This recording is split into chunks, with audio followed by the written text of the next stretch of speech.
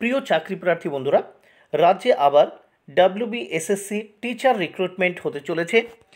আর তার জন্যে কিন্তু আমি আমার চ্যানেলে এসএলএসটি হিস্ট্রি প্রিপারেশন শুরু করেছি। আজকে তৃতীয় ক্লাস এসএলএসটি হিস্ট্রির তৃতীয় ক্লাস আজ হচ্ছে। বন্ধুরা, আপনারা নিশ্চয়ই আগের ক্লাসের ভিডিওগুলি দেখে নিয়েছেন। আর যদি এখনও পর্যন্ত দেখে না থাকেন, অবশ্যই দেখে নেবেন এবং তারপর এই প্রশ্নগুলির উত্তর দেখে নেবেন। বন্ধুরা, তাহলে দেরি না করে প্রশ্ন এবং তার উত্তরগুলি দেখে নেওয়া যাক। তার আগে অবশ্যই চ্যানেলটি সাবস্ক্রাইব করে নেবেন এবং পাশে থাকা বেল বাটনে ক্লিক করে দেবেন। আর যারা ইতিমধ্যেই চ্যানেলটি সাবস্ক্রাইব করে নিয়েছেন, তাদেরকে অসংখ্য ধন্যবাদ জানিয়ে শুরু করছি। নাইনটি থ্রি নম্বর প্রশ্ন। সিন্ধু উপত্যকায় প্রাপ্ত সিলমোহর ও পাত্র থেকে কত ধরনের লিপি হরপ্পায় প্রচলিত ছিল বলে মনে করা হয়? বন্ধুরা, এটির উত্তর হবে দুশো সত্তর ধরনের। Option C, is the right answer. চৌরানব্বই নম্বর প্রশ্ন, হরপ্পা সভ্যতার যুগে জনগণের জীবিকার মূল উৎস কী ছিল? অ্যান্সার অপশান বি, কৃষি। হরপ্পা সভ্যতার যুগে জনগণের জীবিকার মূল উৎস ছিল কৃষি। নাইনটি ফাইভ, পঁচানব্বই নম্বর প্রশ্ন। সিন্ধু সভ্যতার স্রষ্টা কোন জাতি ছিল? অ্যান্সার, সম্ভবত দ্রাবিড় জাতি। Option A is the right answer. ছিয়ানব্বই নম্বর প্রশ্ন। হরপ্পার পোড়ামাটির শিল কোথায় পাওয়া গেছে? হরপ্পার পোড়ামাটির শিল কোথায় পাওয়া গেছে? অপশান সি, মেসোপটেমিয়ায়। নাইনটি সেভেন, সাতানব্বই নম্বর প্রশ্ন। সিন্ধু সভ্যতার মূল কেন্দ্র হরপ্পা ও মহেঞ্জোদারোর মধ্যে দূরত্ব কত? অ্যান্সার ছশো চল্লিশ কিমি। সিন্ধু সভ্যতার মূল কেন্দ্র হরপ্পা ও মহেঞ্জোদারের মধ্যে, এই দুটো কেন্দ্রের মধ্যে দূরত্ব রয়েছে ছশো চল্লিশ কিমি। আটানব্বই নম্বর প্রশ্ন। এ পর্যন্ত সিন্ধু সভ্যতার কয়টি কেন্দ্র আবিষ্কৃত হয়েছে? অপশান এ দুশো পঞ্চাশটি। নিরানব্বই নম্বর প্রশ্ন, দেখে নাও। দেখে নিন। হরপ্পা কোন নদীর তীরে অবস্থিত? অ্যান্সার অপশান এ, রাভি নদী। একশো নম্বর প্রশ্ন। প্রশ্ন নম্বর একশো, সিন্ধু সভ্যতার অন্যতম কেন্দ্র বনওয়ালি। কোন নদীর তীরে অবস্থিত? অপশান সি ঘরঘরা নদী। সিন্ধু সভ্যতার অন্যতম কেন্দ্র বনওয়ালি কোন নদীর তীরে অবস্থিত? অপশান সি ঘরঘরা নদীর। একশো এক নম্বর প্রশ্ন ও তার উত্তর দেখে নিন। লোথাল ও কালীবঙ্গান কোন নদীর তীরে অবস্থিত? অপশান বি, ভোগাবর নদীর তীরে। এখানে ভোগাকর লেখা হয়েছে, এখানে ভোগাবর নদীর তীরে অবস্থিত। একশো দুই নম্বর প্রশ্ন, সিন্ধু সভ্যতার অন্যতম কেন্দ্র রূপার কোন নদীর তীরে অবস্থিত? অপশান ডি, শতুদ্র নদী। সিন্ধু সভ্যতার অন্যতম কেন্দ্র, রূপার কোন নদীর তীরে অবস্থিত? অপশান ডি, শতুদ্র নদীর। একশো তিন নম্বর প্রশ্ন। সিন্ধু থেকে মেসোপটেমিয়ায় প্রধান রপ্তানিযোগ্য পণ্য কী ছিল? অপশান সি, সুতি বস্ত্র। সিন্ধু থেকে মেসোপটেমিয়ায় প্রধান রপ্তানিযোগ্য পণ্য কী ছিল? অপশান সি, সুতি বস্ত্র। একশো চার নম্বর প্রশ্ন। হরপ্পায় ধর্মীয় প্রতীক হিসেবে কোন চিহ্নের ব্যবহার দেখা যায়? Option A, swastika. একশো পাঁচ নম্বর প্রশ্ন। সিন্ধু নগরে যে নরকঙ্কাল পাওয়া গেছে, তার মধ্যে কোন জাতির কঙ্কাল দেখা যায়? অপশান সি, দ্রাবিড়। একশো ছয় নম্বর প্রশ্ন। হরপ্পা সভ্যতায় কোন পশুকে দেবতা জ্ঞানে পূজা করা হতো? অপশান এ ষাঁড়কে একশো সাত নম্বর প্রশ্ন, সিন্ধু সভ্যতার কোথায় জাহাজের বন্দর আবিষ্কৃত হয়েছে? Option B, লোথালে। সিন্ধু সভ্যতার কোথায় জাহাজের বন্দর আবিষ্কৃত হয়েছে? Option B, লোথালে। আর্য সভ্যতার থেকে যে প্রশ্নগুলো আমাদের দেখে নিতে হবে, একেবারে বাছাই করা প্রশ্ন। আপনারা এগুলো দেখে নেবেন। ভেরি ভেরি ইম্পর্ট্যান্ট একশো আট নম্বর কোশ্চেন আর্যরা ভারতে প্রথম কোথায় বসতি স্থাপন করে? অপশান সি সপ্ত সিন্ধু অঞ্চলে। আমাদের কিন্তু এই যে ইউটিউবে ক্লাস হচ্ছে, এগুলো কিন্তু ধারাবাহিকভাবে একেবারে সিলেবাস মেনটেন করে, একেবারে পর একের পর এক কিন্তু পর পর প্রশ্নগুলো আমরা কিন্তু এখানে আলোচনা করছি। তাই প্রথম থেকে প্রত্যেকটি ক্লাসের ভিডিও কিন্তু অবশ্যই আপনাদের দেখে নিতে হবে। আজকে কিন্তু তৃতীয় ক্লাস। একশো নয় নম্বর প্রশ্ন, আর্যদের প্রধান ধর্মগ্রন্থের নাম কি? অপশান ডি, বেদ। একশো দশ নম্বর প্রশ্ন, আর্যরা কখন ভারতে প্রবেশ করে? বি, অপশান বি, আনুমানিক পঁচিশশো থেকে দু হাজার খ্রিস্টপূর্বাব্দে।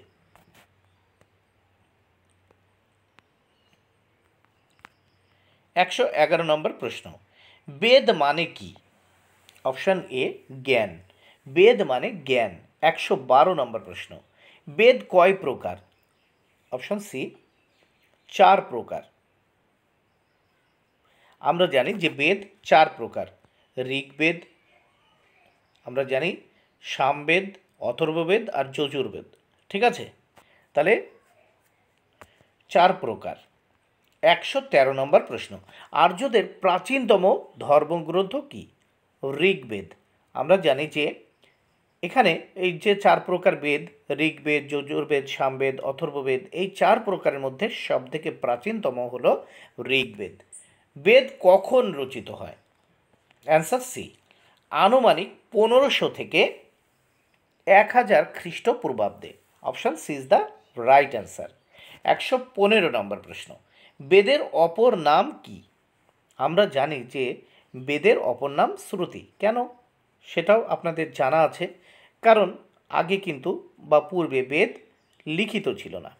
গুরু মুখে মুখে বলতেন আর শিষ্যরা তা শ্রবণ করতেন এবং মুখস্থ করতেন। তাহলে শুনে শুনে মুখস্থ করতেন বলে বেদের অপর নাম কি? শ্রুতি। তাহলে গুরুর মুখে শুনে শুনে শিষ্যরা বেদ মুখস্থ করত। তাই বেদের অপর নাম কি? শ্রুতি। একশো সতেরো নম্বর প্রশ্ন। উপনিষদে কি সম্পর্কে আলোচনা আছে? উপনিষদে দার্শনিক আলোচনা আছে। একশো আঠারো নম্বর প্রশ্ন, বেদ পাঠের জন্য যে ছয়টি বিদ্যার প্রয়োজন, তাকে কি বলে? তাকে বলা হয় বেদাঙ্গ। বেদ পাঠের জন্য যে ছয়টি বিদ্যার প্রয়োজন, তাকে বলে বেদাঙ্গ। একশো উনিশ নম্বর প্রশ্ন, বৈদিক সাহিত্য কয় ভাগে বিভক্ত? উত্তর, বৈদিক সাহিত্য চার ভাগে বিভক্ত। একশো কুড়ি নম্বর প্রশ্ন, সূত্র সাহিত্যের অন্যতম অংশ দর্শন শাস্ত্রের সংখ্যা কয়টি? অপশান সি, ছয়টি। একশো একুশ নম্বর প্রশ্ন। বেদ পাঠের প্রয়োজনীয় বিদ্যার অন্যতম নিরুক্ততে কি সম্পর্কে আলোচনা আছে? অপশান বি, শব্দের উৎপত্তির ব্যাখ্যা সম্পর্কে আলোচনা আছে। একশো বাইশ নম্বর প্রশ্ন। আর্যদের কি বলা হতো? নার্ডিক বা নর্ডিক? আর্যদের নর্ডিক বা নার্ডিক বলা হতো। একশো তেইশ নম্বর প্রশ্ন, বৈদিক সমাজে গ্রামের প্রধানকে কি বলা হতো? বৈদিক সমাজে গ্রামের প্রধানকে গ্রামণী বলা হতো। একশো চব্বিশ নম্বর প্রশ্ন, আর্য সভ্যতায় কোন ধাতুর সর্বপ্রথম ব্যবহার শুরু হয়? অপশান ডি, লোহা। Option D is the right answer, লোহা। আর্য সভ্যতায় কোন ধাতুর সর্বপ্রথম ব্যবহার শুরু হয়? অপশান ডি, লোহা। একশো পঁচিশ নম্বর প্রশ্ন, আর্য সমাজ কয় শ্রেণীতে বিভক্ত ছিল? অপশান সি, চার শ্রেণীতে। আর্য সমাজ চার শ্রেণীতে বিভক্ত ছিল। একশো ছাব্বিশ নম্বর প্রশ্ন, বৈদিক যুগে প্রচলিত একটি স্বর্ণমুদ্রার নাম হলো বিষ। বৈদিক যুগে প্রচলিত একটি স্বর্ণমুদ্রার নাম বিষ। একশো সাতাশ নম্বর প্রশ্ন আর্যদের চতুরাশ্রমের শেষ আশ্রমের নাম কি? সন্ন্যাস। একশো আঠাশ নম্বর প্রশ্ন। আর্যদের চতুরাশ্রমের প্রথম আশ্রমের নাম কি? ব্রহ্মচর্য। আর্যদের চতুরাশ্রমের প্রথম আশ্রমের নাম ব্রহ্মচর্য। একশো উনত্রিশ। আর্যদের প্রধান জীবিকা কী ছিল? উত্তর সি, কৃষি ও পশু কৃষি ও পশুপালন। আর্যদের প্রধান জীবিকা কী ছিল? অ্যান্সার সি, কৃষি ও পশুপালন। একশো তিরিশ নম্বর প্রশ্ন। বৈদিক যুগের একজন বিদোষী মহিলার নাম হল বি মমতা। বি মমতা। বৈদিক যুগে একজন বিদেশি, বিদুষী মহিলার নাম হল মমতা। একশো একত্রিশ নম্বর প্রশ্ন। আর্যদের বিনিময়ের প্রধান মাধ্যম কী ছিল? অপশান সি, গরু। আর্যদের বিনিময়ের প্রধান মাধ্যম কী ছিল? গরু। একশো বত্রিশ নম্বর প্রশ্ন। আর্যদের প্রধান বাহন কী ছিল? আর্যদের প্রধান বাহন কী ছিল? অপশান এ, ঘোড়া। আর্যদের প্রধান বাহন ছিল ঘোড়া। একশো তেত্রিশ নম্বর প্রশ্ন। ঋগ্বেদের সুক্ত ও স্তোত্র কয়টি? এক হাজার সতেরো। মতান্তরে এক হাজার আঠাশটি। একশো চৌত্রিশ নম্বর প্রশ্ন। ঋগ্বেদে কৃষককে কি বলা হতো? অপশন বি, কৃষ্টি। ঋগ্বেদে কৃষককে কি বলা হতো? অপশন বি কৃষ্টি। একশো পঁয়ত্রিশ নম্বর প্রশ্ন। ঋগ বৈদিক যুগে আর্যরা বাণিজ্যের স্বার্থে কি গড়ে তোলেন? Option D, guild.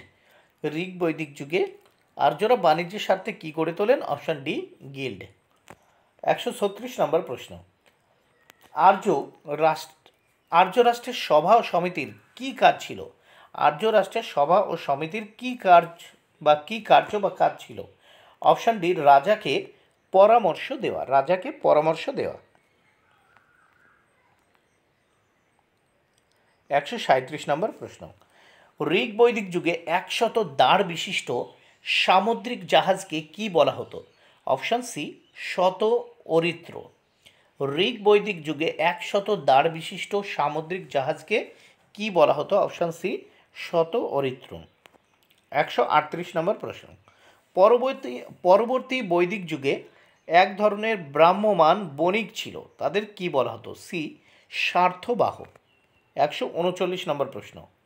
যে সকল আর্য বণিকরা বিপুল অর্থের মালিক হতেন, তাদের কি বলা হতো? যে সকল আর্য বণিকরা বিপুল অর্থের মালিক হতেন, তাদের কি বলা হতো? অপশান এ শ্রেষ্ঠী। একশো চল্লিশ নম্বর প্রশ্ন। দশ রাজার যুদ্ধের কাহিনী কোথায় লিপিবদ্ধ আছে? অপশান এ ঋগ্বেদে। দশ রাজার যুদ্ধের কাহিনী ঋগ্বেদে লিপিবদ্ধ আছে। একশো একচল্লিশ নম্বর প্রশ্ন। ঋগ বৈদিক সমাজে কোন বলতে কি বোঝাতো? অপশান সি, পরিবারকে। ঋগ বৈদিক সমাজে কোন বলতে পরিবারকে বোঝাতো? Option C is the right answer. একশো বিয়াল্লিশ নম্বর প্রশ্ন। ঋগ্বেদে পুরন্দর বা নগর ধ্বংসকারী কাকে বলা হয়েছে? অপশান বি, ইন্দ্রকে। ঋগ্বেদে ইন্দ্রকে পুরন্দর বা নগর ধ্বংসকারী বলা হয়েছে। একশো তেতাল্লিশ নম্বর প্রশ্ন, পরবর্তী বৈদিক যুগে গরুকে কি বলা হতো? অপশান এ, অঘ্ন। পরবর্তী বৈদিক যুগে, পরবর্তী বৈদিক যুগে গরুকে কি বলা হতো? উত্তর, অপশান এ, অঘ্ন। একশো চুয়াল্লিশ নম্বর প্রশ্ন, কৃষ্ণ অয়স এর উল্লেখ কোন বেদে আছে? কৃষ্ণ অয়স। অপশান সি যজুর বেদে একশো পঁয়তাল্লিশ নম্বর প্রশ্ন। আর্যদের অর্থনীতি কীরূপ ছিল? অপশান বি, মিশ্র অর্থনীতি। একশো ছেচল্লিশ নম্বর প্রশ্ন, দশ রাজার যুদ্ধে ভরত গোষ্ঠীর রাজা কে ছিলেন? Option C, Sudas. দশ রাজার যুদ্ধে ভরত গোষ্ঠীর রাজা কে ছিলেন? Option C, Sudas. একশো সাতচল্লিশ নম্বর প্রশ্ন ঋগ বৈদিক যুগে যুদ্ধের অপর নাম কী ছিল? Option A, গাভিষ্টি। ঋগ বৈদিক যুগে যুদ্ধের অপর নাম কী ছিল? অপশান এ, গাভিষ্টি। একশো আটচল্লিশ নম্বর প্রশ্ন। ঋগ্বেদে উল্লিখিত তুর্বাসা, অনু দ্রুজ্য প্রভৃতিগুলি কি? ডি, এক একটি জন। একশো উনপঞ্চাশ নম্বর প্রশ্ন। ঋগ বৈদিক যুগে গোপতি বা গরু রক্ষক কাকে বলা হতো? রাজাকে। ঋগ বৈদিক যুগে গোপতি বা গরু রক্ষক কাকে বলা হতো? রাজা, রাজাকে। একশো পঞ্চাশ নম্বর প্রশ্ন দেখে নিন। কোন লিপি থেকে আর্যদের পরিচয় জানা যায়? Option B, বঘোজ। বঘোজকই লিপি থেকে। জৈন ধর্ম ও বৌদ্ধ ধর্ম থেকে গুরুত্বপূর্ণ প্রশ্নগুলি দেখে দেখে নিন। একশো একান্ন নম্বর প্রশ্ন। তীর্থঙ্কর কথার অর্থ কী? অপশান এ, প্রধান ধর্মগুরু একশো বাহান্ন নম্বর প্রশ্ন। জৈন ধর্মে কতজন তীর্থঙ্কর ছিলেন? অপশান ডি, চব্বিশ জন। একশো তিপ্পান্ন নম্বর প্রশ্ন। প্রথম জৈন তীর্থঙ্কর কে ছিলেন? Option B, Rishabhanatha. Option B, Rishabhanatha. একশো চুয়ান্ন নম্বর প্রশ্ন। পার্শ্বনাথ কততম তীর্থঙ্কর ছিলেন? পার্শ্বনাথ ছিলেন জৈনদের তেইশতম তীর্থঙ্কর। একশো পঞ্চান্ন নম্বর প্রশ্ন। জৈন ধর্মের শেষ তীর্থঙ্কর কে ছিলেন? জৈন ধর্মের শেষ তীর্থঙ্কর কে ছিলেন? Option C, Mahavir. একশো ছাপ্পান্ন নম্বর প্রশ্ন। জৈন ধর্মের প্রবর্তক কে? বা জৈন ধর্মের প্রবর্তক কে? অপশান সি, মহাবীর।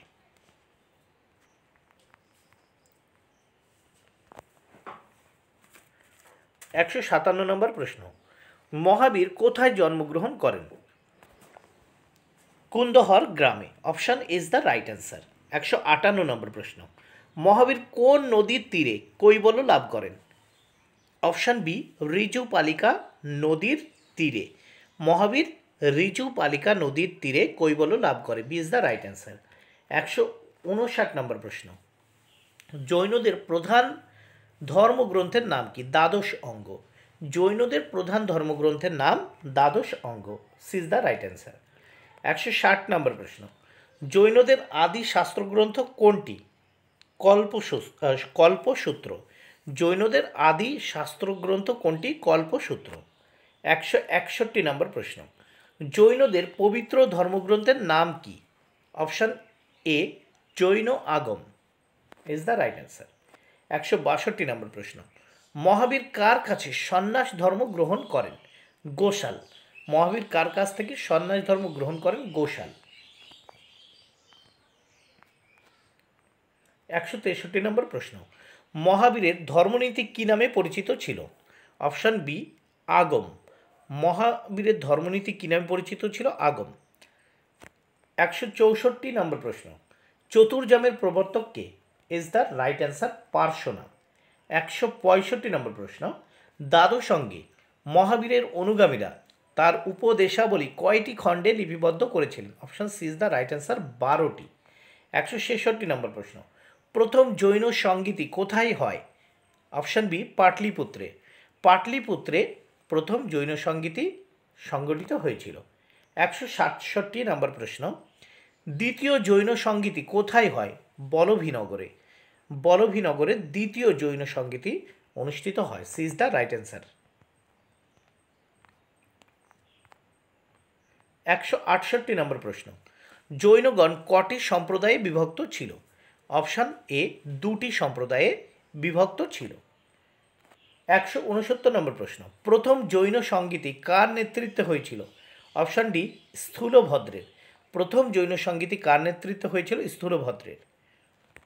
এক একশো সত্তর নম্বর প্রশ্ন। জৈন ধর্মের পৃষ্ঠপোষক রাজাদের অন্যতম একজন ছিলেন অপশান এ চন্দ্রগুপ্ত মৌর্য। জৈন ধর্মের পৃষ্ঠপোষক রাজাদের অন্যতম একজন ছিলেন অপশান এ চন্দ্রগুপ্ত মৌর্য। একশো একাত্তর নম্বর প্রশ্ন। কার নেতৃত্বে দক্ষিণ ভারতে জৈন ধর্মের প্রবর্তন হয়? কার নেতৃত্বে দক্ষিণ ভারতে জৈন ধর্মের প্রবর্তন হয়? B is the right answer ভদ্রবাহুর নেতৃত্বে ভদ্রবাহুর নেতৃত্বে দক্ষিণ ভারতে জৈন ধর্মের প্রবর্তন হয়। একশো বাহাত্তর নম্বর প্রশ্ন। মহাবীরের মূল ধর্মপদেশ যে চোদ্দটি খণ্ডে সংরক্ষিত হয়, তা কি নামে পরিচিত? অপশান ডি পূর্ব। মহাবীরের মূল ধর্মপদেশ যে চোদ্দটি খণ্ডে সংরক্ষিত হয়, তা কি নামে পরিচিত? Option D is the right answer পূর্ব। বন্ধুরা ভিডিওটি যদি ভালো লাগে, অবশ্যই লাইক কমেন্ট ও শেয়ার করবেন এবং পাশে থাকা বেল বাটন ক্লিক করে দেবেন। Thank you very much keep watching my channel and my video